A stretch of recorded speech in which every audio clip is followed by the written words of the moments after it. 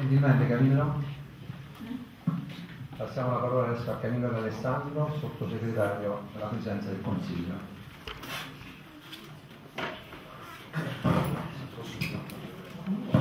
Buongiorno, buongiorno a tutti, grazie al sindaco. Io vengo da un piccolo paese, forse non primo, io vengo da un piccolo paese e so bene, in quel piccolo paese sono stato consigliere comunale di maggioranza e di minoranza e so bene che cosa significa e quanto sia labile la differenza tra maggioranza e minoranza quanto poi ci si occupa delle questioni di una piccola comunità. A un certo punto scatta la squadra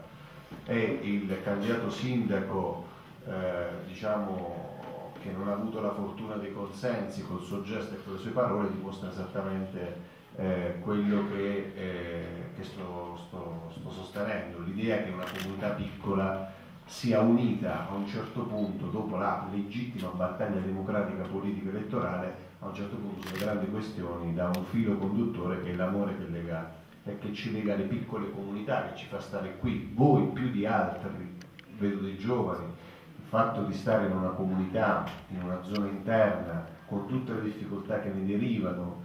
eh, le difficoltà degli spostamenti, le difficoltà di accedere ai diritti, sono questioni che dovrebbero e che stanno, a mio giudizio, diventando agenda prioritaria del governo regionale, che si rende conto che oltre il 40% del territorio regionale è fatto di zone interne e in questo 40% del territorio regionale ci sono comunità, ci sono scuole, ci sono bambini che hanno gli stessi diritti o che dovrebbero averli, ci sono difficoltà di mobilità. Con eh, Claudio, col sindaco, da sempre battagliero come lo conoscete sulle questioni, sui temi, in una linea di conduzione che consentitemi parte da un vostro illustre concittadino che vi ha onorato sia alla guida il comune sia la guida della provincia Manfredi Pulsinelli, noi abbiamo ripreso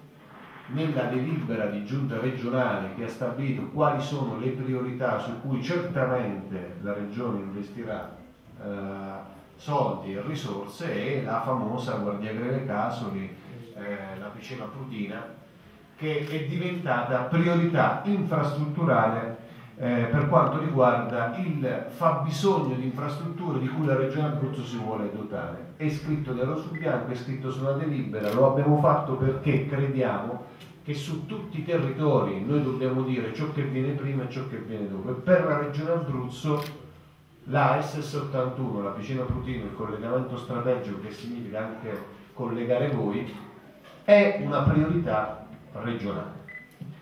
Per le deleghe affidatevi, noi stiamo lavorando ad una delicata fase di riorganizzazione del trasporto pubblico locale, che non riguarda solo il fatto che abbiamo realizzato la società unica dei trasporti, che è di per sé una grande conquista, ma a fianco alla realizzazione della società grande unica dei trasporti c'è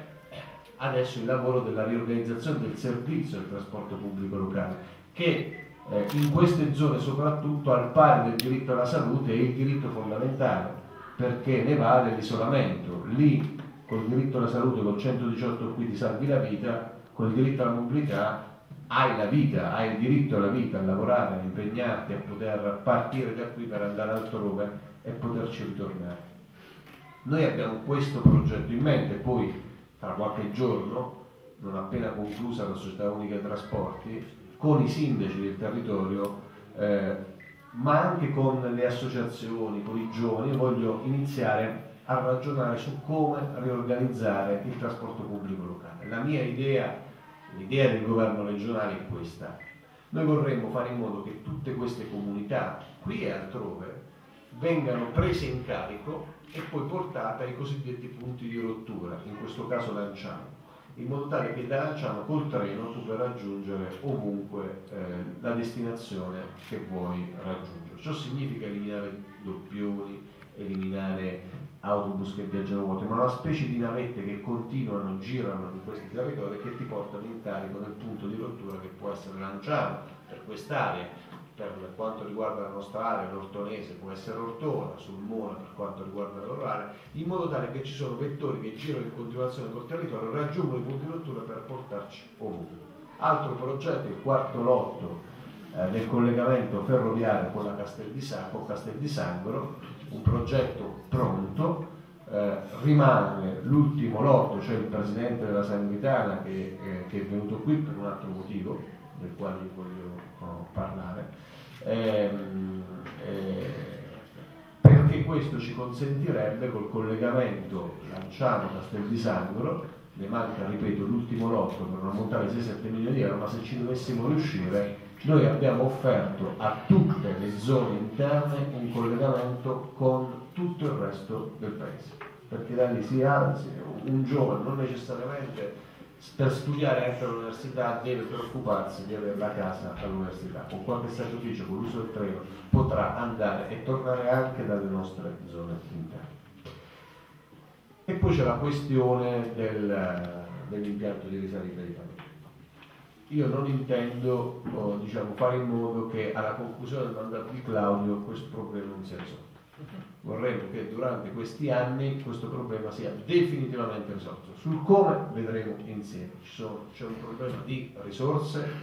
ma c'è anche un problema poi di gestione successiva. Eh, le due cose devono camminare assolutamente insieme, dobbiamo cioè nel mentre lavoriamo a trovare risorse, io credo che non sia un problema quello, il problema è il giorno dopo, e cioè come si mantiene un impianto una volta che sono state trovate le risorse, perché noi non possiamo fare la cosa e il giorno dopo chiudere la cosa. Noi dobbiamo lavorare e per farlo, chiaro, non basta la comunità di Palermo, questo è un progetto che riguarda tutti, che mette a sistema le grotte, che mette a sistema il nostro sistema turistico, del quale, come sapete per che mi sto occupando, avendomi il Presidente assegnato oltre il turismo, anche oltre i trasporti, anche il turismo